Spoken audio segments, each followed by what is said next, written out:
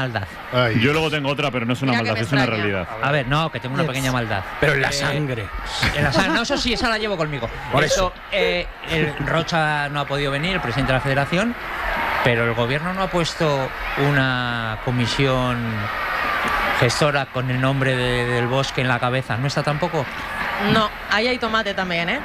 ¿Y por qué Digamos no que ha habido más pelea en las posiciones del palco que en las posiciones del terreno de juego. A ver quién ocupaba el sitio al lado de, de Su Majestad la Reina Doña Leticia. Yo lo digo más Sí, por sí. estar que por ocupar un sitio.